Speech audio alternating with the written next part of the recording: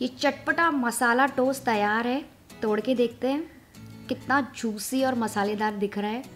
बस डालेंगे ऊपर से थोड़ा सा सेव हाय मेरे प्यारे दोस्तों तो आज हम बनाएँगे टेस्टी सा Mumbai street style masala toast जिसे हम स्टफ़ करेंगे स्पाइसी चटनी, आलू का मसाला और बहुत सारे वेजिटेबल्स के साथ। मुझे तो आपको बताते हुए मुँह में पानी आ रहा है।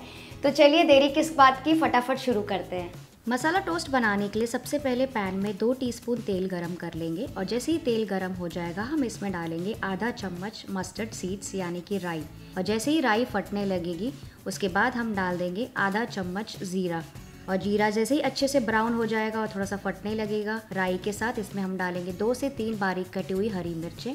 और इन तीनों चीज़ों को थोड़ी देर फ्राई करेंगे और उसके बाद हम डालेंगे आठ से दस करी पत्ता। कड़ी पत्ता डालने के बाद इसे थोड़ा सा मिक्स करेंगे और फिर गैस का फ्लेम लो करके हम इसमें डालेंगे हल्दी।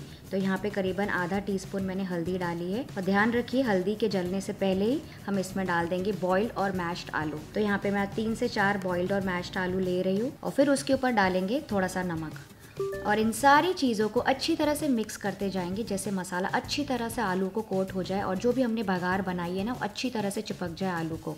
तो इस समय अगर आपको कोई ऐसा लग रहा है कि बड़े बड़े चंक्स हैं तो उसे आप ऐसे तोड़ सकते हैं स्पैचुला से और इस तरह से मसाला आप मिक्स करते जाइए, ताकि अच्छे से चटपटा और मसालेदार मसाला बन जाए हमारा। तो इसी तरह से इसे मिक्स करते जाइए। तो आज मैंने यहाँ पे सिर्फ़ आलू यूज़ किए पर आप चाहें तो इसी मसाले में कोई भी फाइनली चॉप वेजिटेबल्स या फिर मटर भी यूज़ कर सकते हैं। उससे भी टेस्ट बहुत अच्छा आता है। अब हम इसके ऊपर डालेंगे फ्रेश धनिया और इसे भी अच्छी तरह से मिक्स करते जाएँगे आलू के साथ। बस अब इसे बहुत ज़्यादा नहीं पकाना है। हमारा मसाला तैयार हो गया है। बस ये थोड़ा सा सूखा सूखा होना चाहिए ताकि वो अच्छे से स्टफ़ हो जाए सैंडविच के ऊपर और हमारे सैंडविच सॉगी नहीं बने। तो बस अब इसे ऐसे ही छोड़ देंगे हल्का ठंडा होने के लिए। नेक्स्ट यहाँ पे मैंने ब्रेड स्लाइसेस लिए हैं। इसके ऊपर अच्छी तरह से मक्खन लगा लेंगे ऊपर टॉप सरफेस पे, इस तरह से। ऐसा करने से आपकी चटनी इसके ऊपर अच्छी तरह से स्प्रेड हो जाएगी। तो इसके ऊपर पहले मक्खन लगाना मत भूलिएगा, वरना आपकी चटनी अच्छे से स्प्रेड नहीं हो पाएगी। और फिर मक्खन के लेयर के ऊपर हम लगाएँगे बढ़िया सी स्पाइसी हरी चटनी। ये घर की बनी हुई हरी चटनी है। आप चाहें तो इसका लिंक डिस्क्रिप्शन बॉक्स में चेक कर सकते हैं। और इसका भी एक और लेयर बनाएँगे और फिर उसके ऊपर हम प्लेस करेंगे हमारा चटपटा आलू का मसाला। तो आलू का मसाला अच्छी तरह से उसमें फैला लीजिए, कम, ज़्यादा, जैसे आपको पसंद हो, उसे अच्छे से स्प्रेड कर लीजिए चारों तरफ़ से। और इसके ऊपर हम क्या करेंगे ना, अनियन के रिंग्स लगाएँगे। तो यहाँ पे मैंने कुछ प्याज के रिंग्स काट के रखे हैं, वो मैंने डाले हैं। उसका एक लेयर बनाएँगे और उसके ऊपर ही हम एक और लेयर बनाएँगे टमाटोज़ की। तो यहाँ पे मैंने टमाटो राउंड्स में काटे हैं, उसका लेयर बनाएँगे और उसके ऊपर मैं स्प्रिंकल करूँगी थोड़ा सा पाव भाजी मसाला या फिर सैंडविच मसाला। नेक्स्ट हम इसके ऊपर डालेंगे थोड़े से कैप्सिकम के रिंग्स ये ऑप्शनल है, लेकिन इससे बहुत ही अच्छा टेस्ट आता है। और फिर से इसके ऊपर स्प्रिंकल कर लेंगे। कोई भी सैंडविच मसाला, पाव भाजी मसाला या फिर आप चाहें तो यहाँ पे चाट मसाला भी यूज़ कर सकते हैं। और फिर हम क्या करेंगे, जो दूसरी ब्रेड स्लाइस है बटर और चटनी के साथ, वो इसके ऊपर इस तरह से प्लेस कर देंगे। ये देखा आपने, कितने अच्छे लेयर्स दिख रहे हैं और इसे अच्छे से प्रेस कर लेंगे अपने हाथों से, ताकि सारी चीज़ें एक तरह बनी रहे। ये देखा आपने, इसे थोड़ा अच्छे से दबा दीजिए, ताकि मसाला अच्छे से चिपक जाए और सारी वेजिटेबल्स आपस में अच्छे से चिपक जाए। नेक्स्ट मैं यहाँ पे ये सैंडविच टोस्टर ले रही हूँ। ये इजीली मिल जाता है मार्केट में। मैं आज ये वाला यूज़ कर रही हूँ, पर अगर आप चाहें तो इसकी जगह ग्रिलर कोई और टोस्टर या फिर आप चाहें तो तवा भी यूज़ कर सकते हैं। इसे थोड़ा सा ग्रीस कर लेंगे ऑयल से। आप चाहें तो बटर भी यूज़ कर सकते हैं।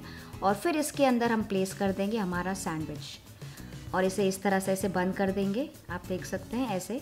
और इसे मीडियम हाई फ्लेम पर ही पकने देंगे दोनों तरफ़ से पलट पलट के। आप देख सकते हैं।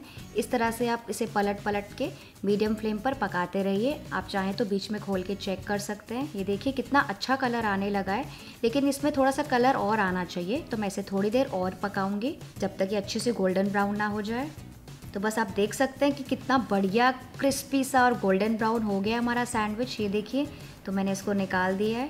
देखिए कितना प्यारा सा कलर आया इसके ऊपर और ये परफेक्टली कुकड है। तो इसको तोड़ के मैं आपको दिखाती हूँ। मतलब मैं आपको काट के दिखाती हूँ।